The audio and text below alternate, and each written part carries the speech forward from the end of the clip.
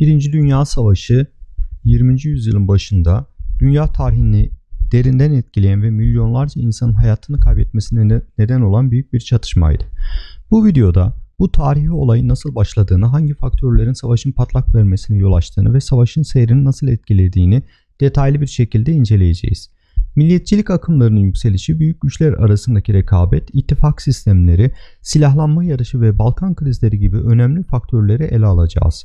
Şilif'in planı, stratejik hamleler ve savaşın başlamasına yol açan diğer kritik olayları da gözden geçireceğiz.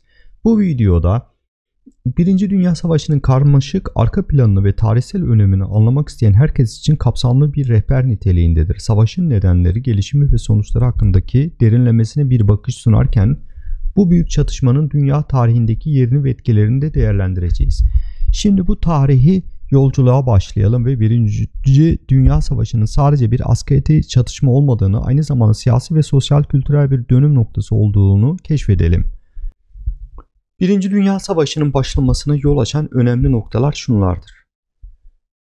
1. Milliyetçilik 19. yüzyılın sonlarına doğru Avrupa'da yükselen milliyetçilik akımları ulusal kimliklerin güçlenmesine ve bazı bölgelerde bağımsızlık taleplerinin artmasına yol açtı. Bu bölgeler özellikle Balkanlardı. 2. İmparatorlukların rekabeti Büyük Britanya, Almanya, Avusturya, Macaristan, Rusya ve Osmanlı İmparatorluğu gibi büyük güçler arasında rekabet askeri ve kolonyal genişleme yarışını körükledi. 3. İttifak sistemleri Avrupa'daki büyük güçler çeşitli ittifaklar kurdu. İki ana grup. Üçlü İtilaf, Birleşik Krallık, Fransa, Rusya ve Üçlü İttifak Almanya, Avusturya, Macaristan, İtalya ve sonradan Osmanlı İmparatorluğu. 4. Silahlanma yarışı Avrupa'daki büyük güçler arasında özellikle Almanya ve Birleşik Krallık arasında deniz gücü ve askeri kapasitesi açısından bir silahma, silahlanma yarışı vardı. 5. Balkan krizleri. Balkanlardaki siyasi istikrarsızlık ve savaşlar bölgedeki büyük güçlerin müdahalesine yol açtı ve bölgesel gerilimleri arttırdı. 6. Frans Ferdinand suikastı. Avusturya Macaristan Veliaht Prensi Frans Ferdinand'ın 28 Haziran 1914'te Saraybosna'da Sırp milliyetçisi Gavrilo Princip tarafından öldürülmesi savaşın tetikleyicisi olarak anıldı. Savaş ilanları Suikast sonrası Avusturya Macaristan'ın Sırbistan'a savaş ilan etmesi ve ardından diğer büyük güçlerin ittifaklarına bağlı olarak savaşa girmesi çatışmanın tüm Avrupa'ya yayılmasına neden oldu. Şilif'in planı Almanya'nın iki cephede savaşmamak için geliştirdiği Şilif'in planı Almanya'nın Belçika üzerinden Fransa'ya saldırmasının ve bunun sonucunda Birleşik Krallığın savaşa girmesine yol açtı. Bu faktörler karmaşık bir şekilde etkileşerek 1914'te Avrupa'yı sonrasında dünyayı kapsayan büyük bir savaşın başlamasına neden oldu.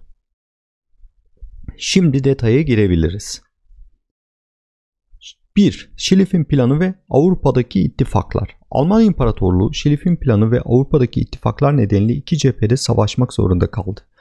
Rusya ve Fransa'ya karşı bir mengene gibi sıkışmış durumdaydı. Bu stratejik sorunu çözmek amacıyla General Alfred Graf von Schlieffen 1905 yılında bir plan geliştirdi. Bu plana Schlieffen planı adı verildi.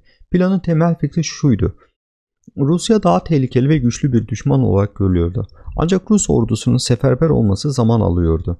Bu süre zarfında Almanya'nın hızla Fransa'yı mağlup edip tüm askeri gücünü Doğu cephesine yani Rusya'ya yönlendirmesi gerekiyordu. Ancak bu planın kusurları vardı. En büyük problem Arman ordularının Fransa'ya saldırabilmek için tarafsız Belçika topraklarından geçmek zorunda olmasıydı. Belçika'nın tarafsızlığını ihlal ettiklerinde İngiltere'de savaşa dahil oldu ve Almanların Fransa'yı birkaç hafta içinde yenme planı suya düştü. 2. Mevzi Savaşı Alman saldırısı Paris yönlerinde durdu. Almanlar ele geçirdikleri toprakları kaybetmemek için siperler kazdılar. Müttefikler yani Fransız ve İngiliz birlikleri de Almanlara karşı siper kazdılar. Düşman birlikleri siperlerde karşı karşıya geldi. Cephe hattı ileri ya da, ya da geri hareket etmedi. 50 metre 100 metre hareketlerle aylar boyunca sürdü. Siperler Batı cephesinde Cephe hattı 700 km uzunluğundaydı. Her iki taraftaki ordular siperlerde hapsolmuş durumdaydı. Siperler sürekli genişletiliyordu. Ön tarafta dikenli teller bulunuyordu. Oradan geçmeye çalışanlar makinalı tüfeklerle karşı savunmasız kalıyordu. Dikenli tellerin arkasında siperlerde savunma yapan ya da emir üzerine siperden çıkıp karşı tarafa düşman siperine girmeye çalışan askerler yer alıyordu. İlk siperlerin arkasında ikmalin getirildiği diğer siperler ve sığınaklar bulunuyordu. Siperler zikzak şeklindeydi. Böylece düşman siperleri ele geçirdiğinde daha iyi savunma yapabiliyorlardı. Ayrıca granat parçaları ve patlamalardan daha iyi korunuyorlardı. İki siper arasında hiç kimsenin toprağı bulunmuyordu. Bazen birkaç metre, bazen 500 metre genişliğinde olabiliyordu. Cephenin birkaç kilometre arkasında topçu birlikleri yer, yer alıyordu. Birbiri ardına karşı tarafı bombalıyorlardı. Malzeme savaşı. Birinci Dünya Savaşı bir malzeme savaşıydı. Generaller hızla anladılar ki siper savaşı işe yaramıyordu. Bu yüzden daha fazlası daha iyidir mantığıyla hareket ediyorlardı. Bir saldırıya cesaret edilmeden önce saatlerce bazen günlerce ağız silahlarla yani topçuyla düşman mevzileri devasa mermilerle dövülüyordu. Toprak adeta sürülüyordu. Batı cephesinde toplam 850 milyon mermi atıldı. Oluşan kraterler bazen bugün bile görülebiliyor.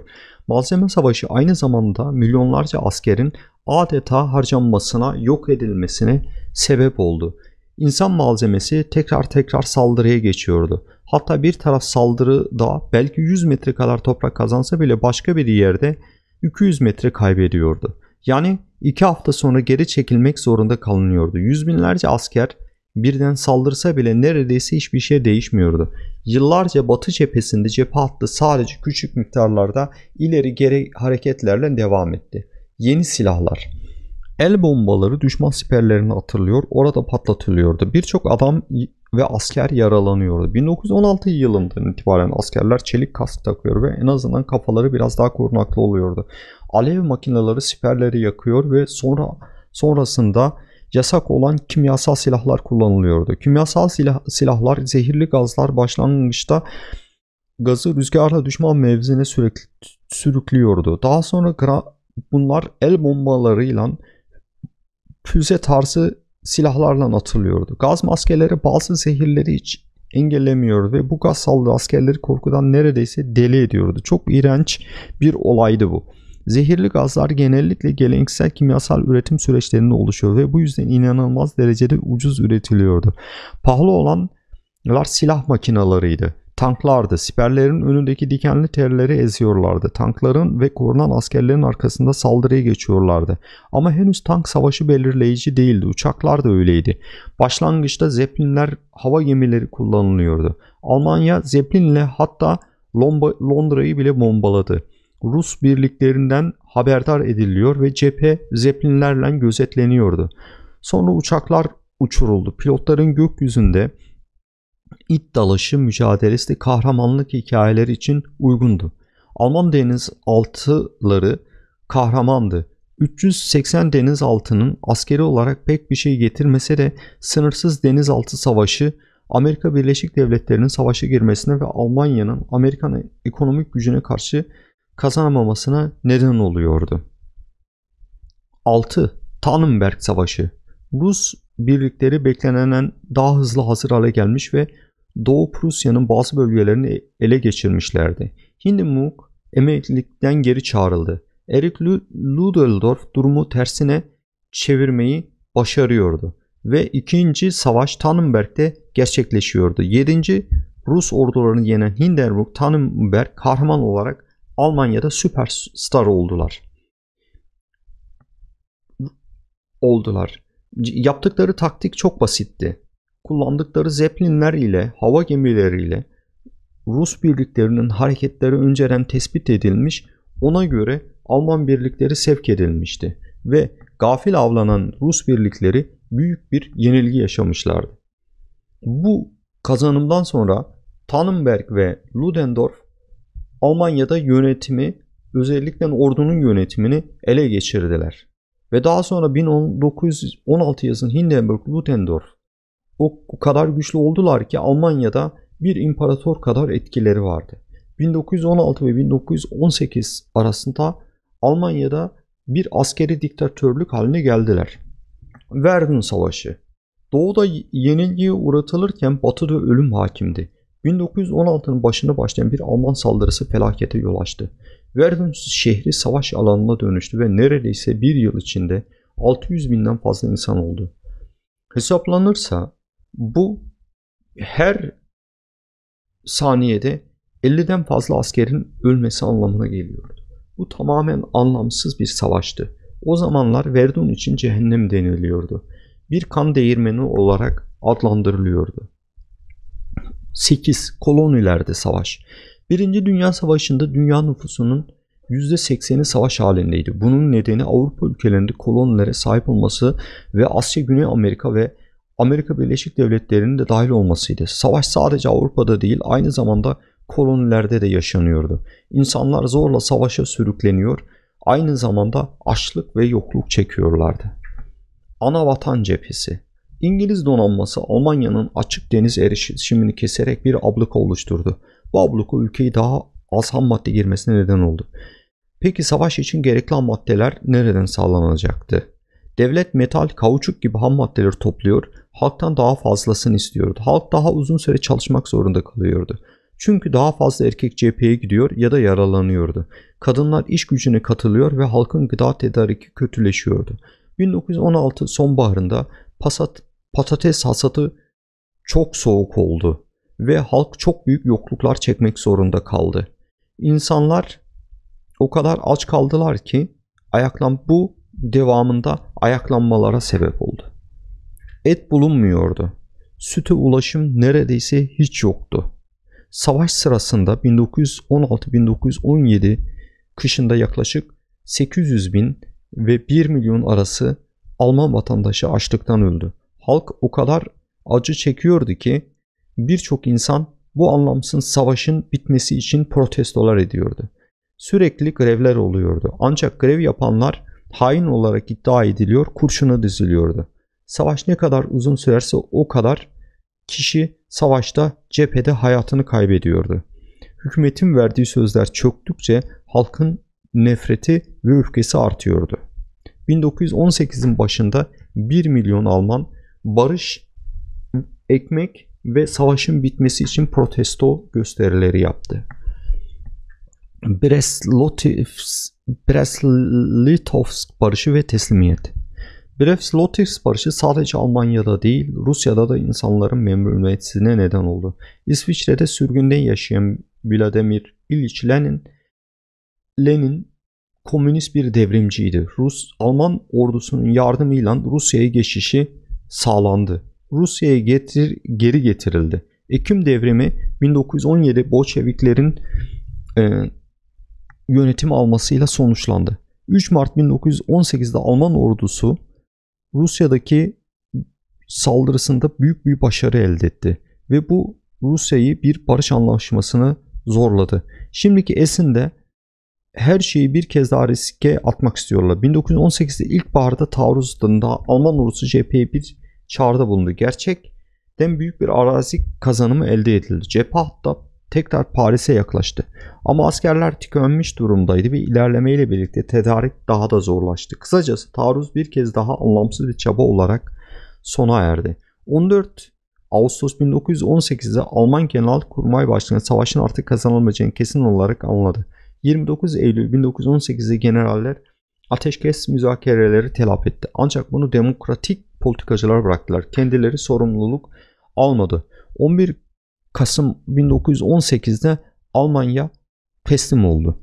Ve bu ileriki zamanda bu olayın bu teslimiyetin demokratik güçleri bırakılması radikaller tarafından demokrat güçlerin Alman ordusunu sırtından bıçakladığını, sırtından hançerlediği teorisini geliştirdi ve Almanya'da radikallerin yükselmesine, Hitler'in iktidara gelmesine kadar yolu açtı.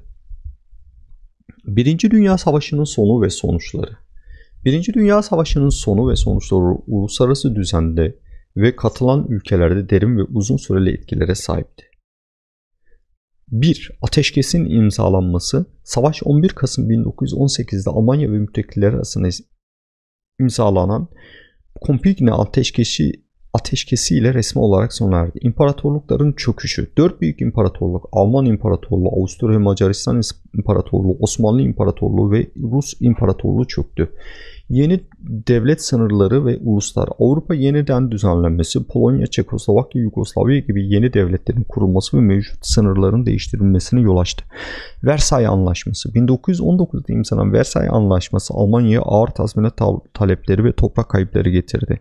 Bu antlaşma birçok Alman tarafından aşağılayıcı algılandı ve Weimar Cumhuriyeti'nin istikrarsızlaştırılmasına katkıda bulundu.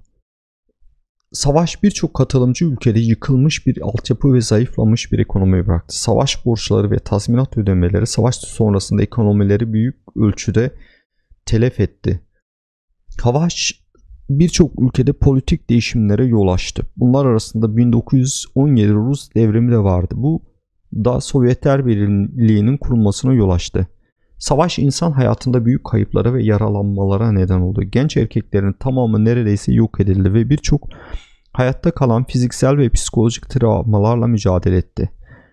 Birinci Dünya Savaşı tankların, uçakların ve kimyasal savaşın geliştirilmesi de dahil olmak üzere askeri teknoloji ve taktiklerde önemli değişikliklere yol açtı. Savaşa tepki olarak Milletler Cemiyeti kuruldu. Uluslararası çatışmalar diplomasi yoluyla çözmek, başka bir dünya savaşını önlemek amacıyla Milletler Cemiyeti hedeflerinde başarısız olsa da daha sonra Birleşmiş Milletler'in kurulması için temel attı. Uzun vadeli etkileri savaş ve sonuçları tarafından yaratılan politik ve ekonomik istikrarsızlıklar Almanya'da ulusal sosyalizmin yükselişine ve sonucunda 2. Dünya Savaşı'nın patlak vermesine katkıda bulundu. Bu sonuçlar Birinci Dünya Savaşı'nın sadece bir askeri çatışmadan çok daha fazlası olduğunu gösteriyor. Dünya düzenini değiştirir ve toplumun hemen hemen her yönünde derin etkiler bıraktı ve Amerika Birleşik Devletleri'nin dünyada yükselişinde süper bir güç olmasında ilk adım oldu. Birinci Dünya Savaşı'nın karmaşık ve trajik hikayesini incelediğimiz bu videomuzun sonuna geldik. Bu büyük çatışmanın nasıl başladığını dünya üzerindeki etkilerini ve savaşın sonuçlarını detaylı bir şekilde ele aldık. Umarım bu video tarihin bu önemli dönemini anlamanızda size yardımcı olmuştur. Ve savaşın sadece askeri bir olay olmadığını, aynı zamanda küresel siyaset, toplum ve kültür üzerinde derin etkiler olduğunu göstermiştir. Eğer bu videoyu faydalı bulduysanız lütfen beğenmeyi ve kanalımıza abone olmayı unutmayın. Yorumlarınızda 1. Dünya Savaşı hakkında daha fazla öğrenmek istediğiniz konuları veya gelecek videolarımızda ele almasını istediğimiz diğer tarih olayları bize bildirin. Tarihin bu gibi önemli anlarını daha fazla kişiye paylaşmak için videoya arkadaşlarınızla paylaşmayı da unutmayın. Hepinize izlediğiniz için teşekkür ederim ve bir sonraki videomuzda görüşmek üzere. Sağlıcakla kalın.